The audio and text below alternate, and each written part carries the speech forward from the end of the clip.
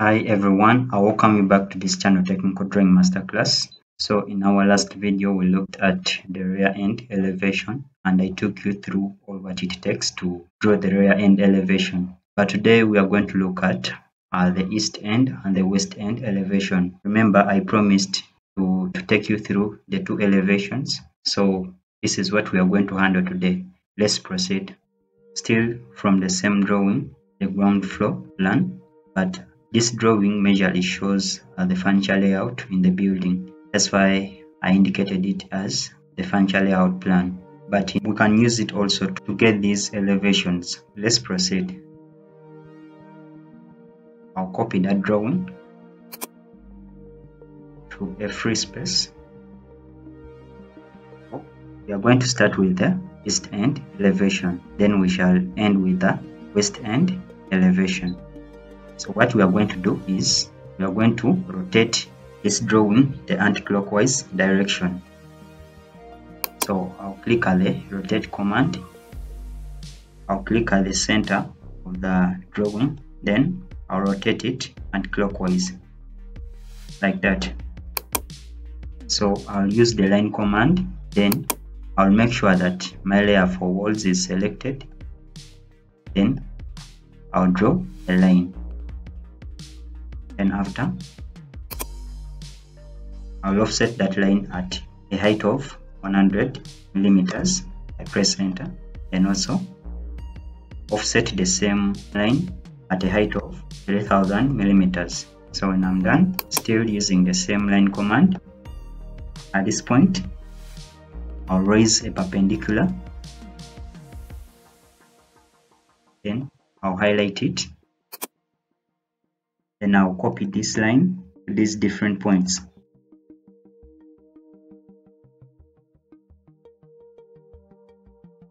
Okay, so I'll use the trim command, trim off those excess lines. Then after that, I'll highlight this line. Then I'll offset it at a distance of 200 millimeters such that it can give me the fascia board so I'll trim off these lines I think also I should remove these ones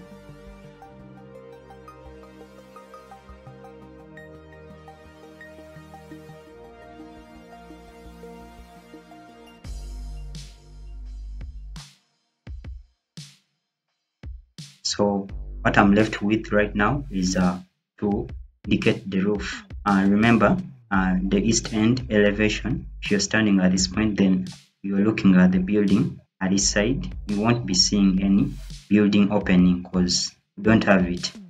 So that's why you see at our elevation right here there is nothing uh, indicated as a wall opening. It's a complete wall. Hope you understand my point. So let's proceed with the roof. So first i'll select my layer for roof which is right here. Then I'll use the line command. So at this point right here, I'll draw a line of any length. Then I press the tab key at the keyboard. and I'll put in an angle of 30. Press enter. Then I'll do the same thing this side. I'll press the tab key. Then I'll put in this time uh, 150 degrees. So I'll trim off this excess part of the lines. Then next I'm going to uh, create the ridge the roof ridge. So I'll highlight this line as I've done. Then I'll offset it the distance of 50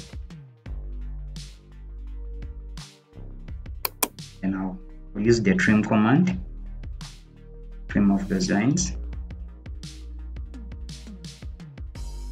Also those lines. So after that I'll move this uh, drawing right here. Then what we are going to do next is to put uh, the grid lines.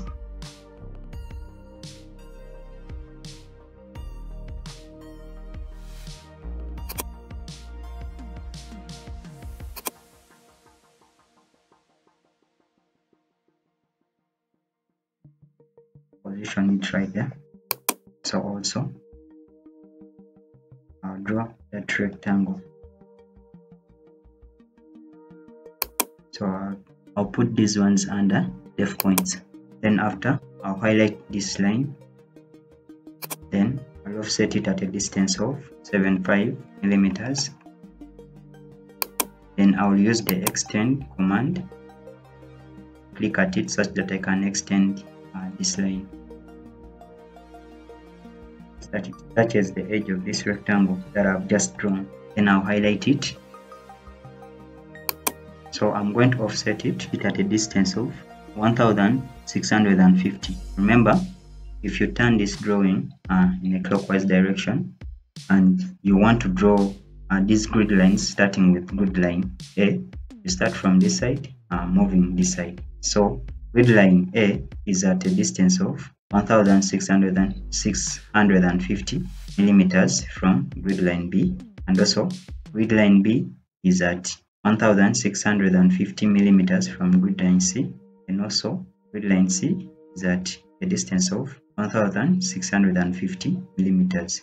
Then grid line D is at 1500 millimeters from grid line E. So you notice that these first four grid lines they have equal distances apart. So this is what we are going to do right here. I'll click at it then I'll put in 1650 then uh, this last one I'll put 1500 which is right there. So I'll highlight them. Then I'll select the layer for grid lines. Still highlighted I'll select these dotted format lines. So I'll press escape. Then after that I'll click or highlight this uh, tag.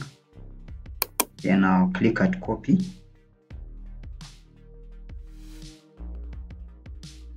I'll place it at that point right there. Lastly at that point. So I'll edit this one too. Should be roughly at the center of that circle. Then I'll edit this one to C then I'll edit this one to D I'll edit this one to E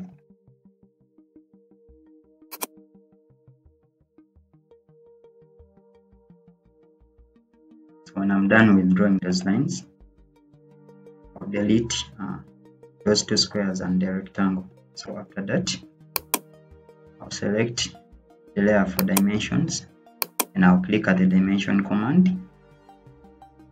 At that point I stretch up my dimension up to, to that point at grid line B.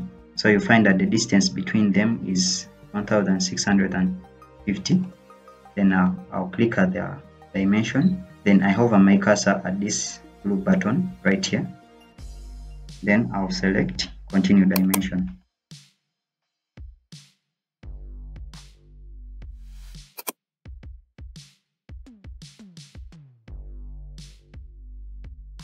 so when you're done with uh, putting the dimensions shall copy these decorative molds from this elevation right here.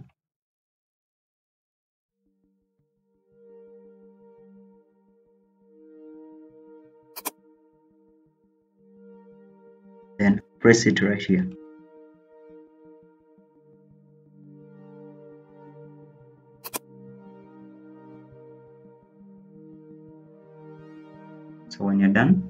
going to hatch uh, the roof so I'll select this layer for hatch then I'll click at the hatch command.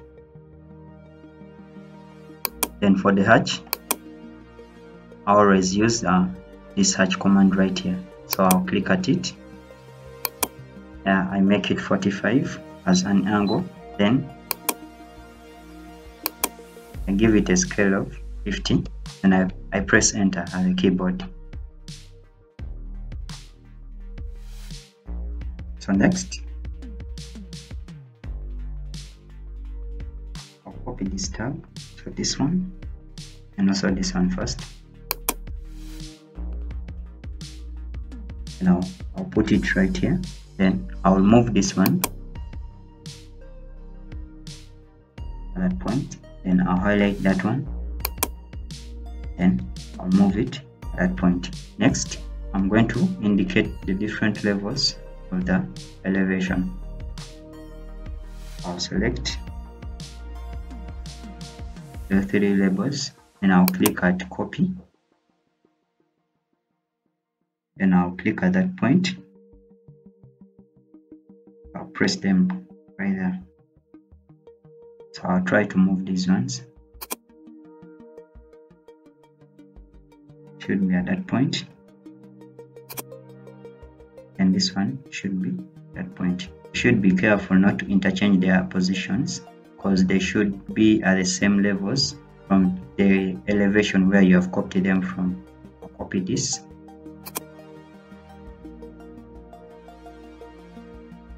And I press it right there. Then I'll edit this one too. East end elevation. And this one also. I edit to 6 so uh, we are done with uh, the east end elevation. Maybe what I have not indicated are the dimensions. So I'll select my layer for dimensions from that point that point. Should indicate those dimensions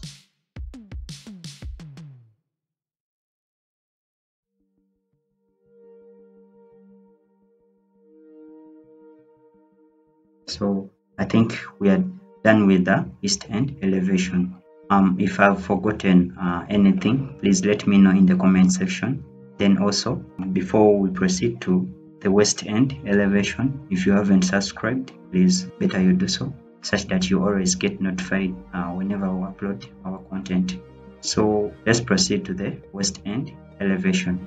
So still I'll highlight this same drawing then this time I'm going to rotate it in a clockwise direction. So I'll click at it. I'll rotate it like that roughly at an angle of 180 degrees. In the same way I'll first uh, select this layer for walls. Then after that I'll draw that line. Then I'll click at the offset uh, command then I'll offset that line at a distance of 100 millimeters. Then still I'll offset it at a distance of 3000 millimeters. So still I'll offset it down at a distance of 200 millimeters. Then after that I'll click at the line command. Then I'll raise a perpendicular passing through our elevation that we are yet to draw then I'll click at the copy command after me highlighting that perpendicular line. Start copying the same line at these different points. So we have a window here. So I'll also indicate it my elevation. So after that I'll click at the trim command. Now trim off this these lines. So next I'll also trim off these lines.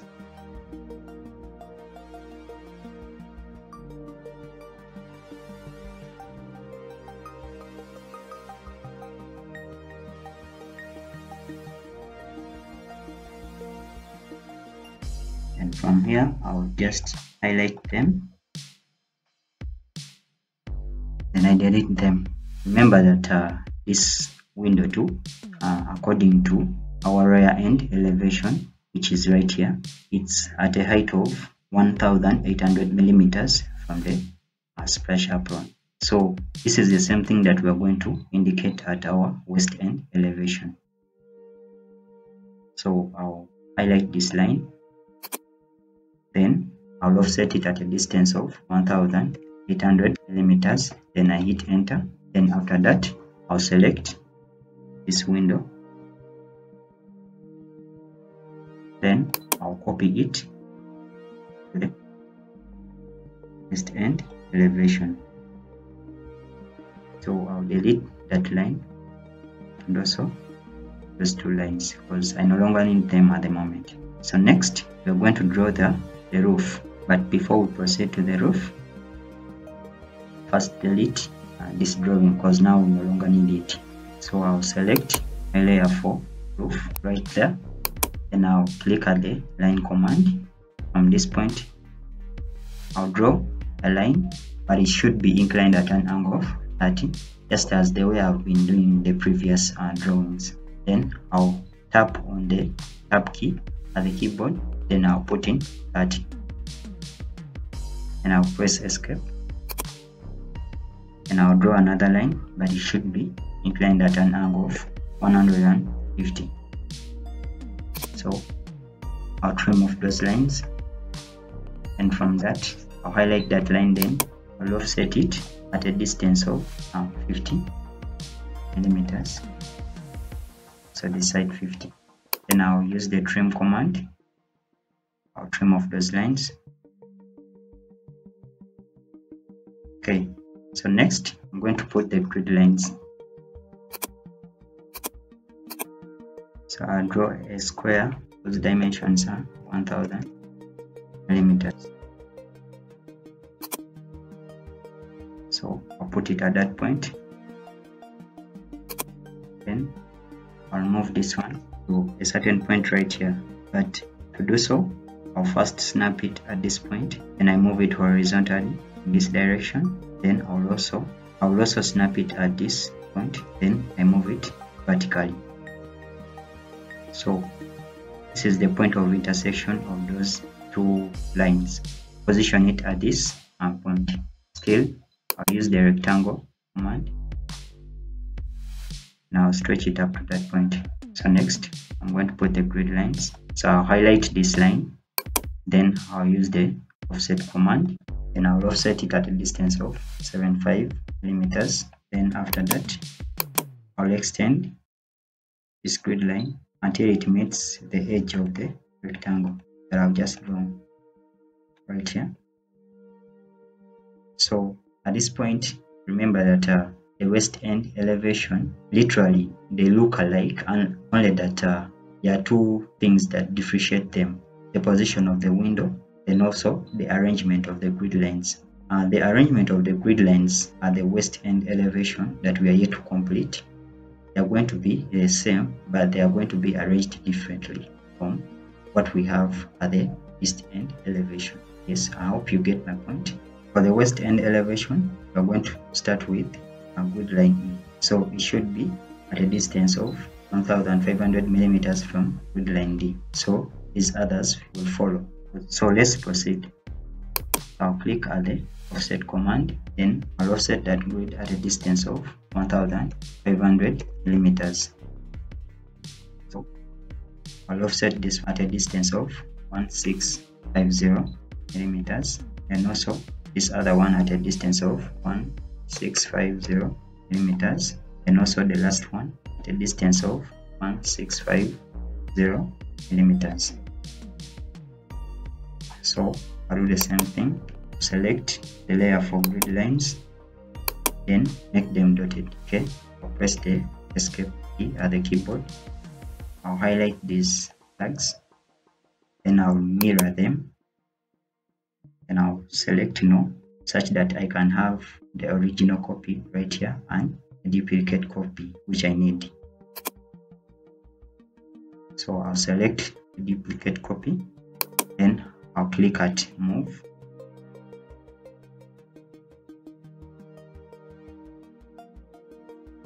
then I'll make sure that I position it at the intersection of this grid line plus the edge of the rectangle right there. Okay so you find that uh, I'll position them in the right way.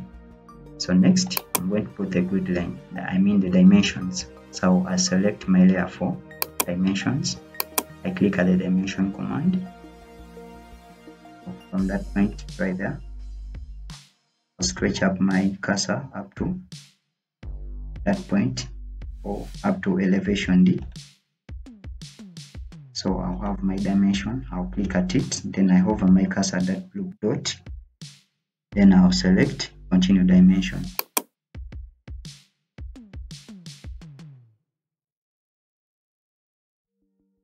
When you're done you just uh, press the escape key at the keyboard. So I'll delete off these two squares and the rectangle. So next I'm going to put in uh, the decorative molds still. I'll just copy them from what I have right here.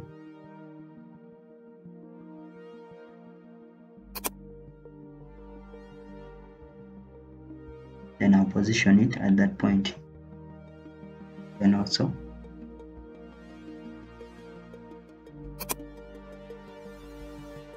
Put them there. So next I'm going to put the hatch at the roof. So I'll select this hatch command or hatch layer then I'll click at the hatch command then I'll select this one. It's already there. So just click these free spaces. Then next I'll name them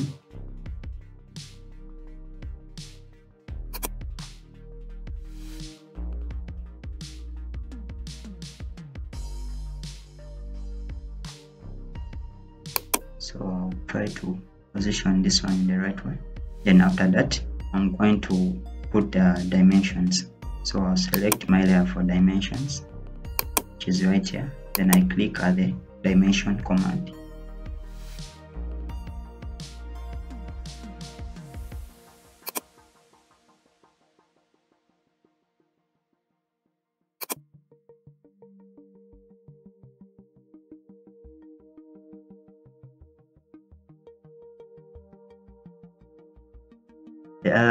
is to indicate these levels of the elevation.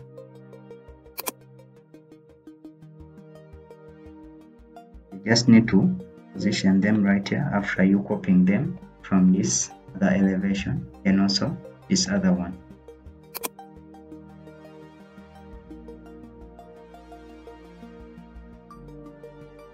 Then I'll edit this one too.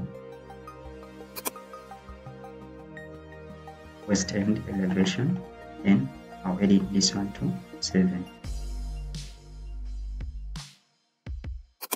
I'll try to move it down that point.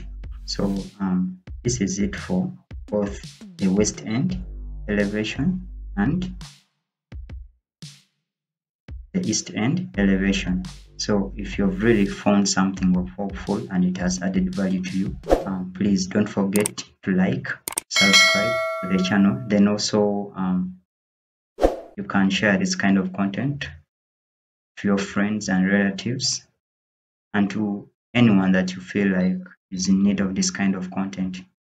So uh, thanks for watching. We meet next time. So in our next video i'll be taking you uh, the cross section of uh, this uh, building. So thanks for watching. We meet next time